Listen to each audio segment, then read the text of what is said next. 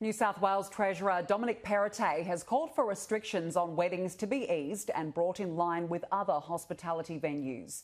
Mr Perrottet has backed the call from large venue operators who want larger COVID safe celebrations and bigger fines for people breaking the rules. Weddings and funerals in Greater Sydney are capped at 100 people under the four square metre rule. Venue operators believe weddings are being unfairly targeted and limits should be increased to 300 to match limits in the hospitality industry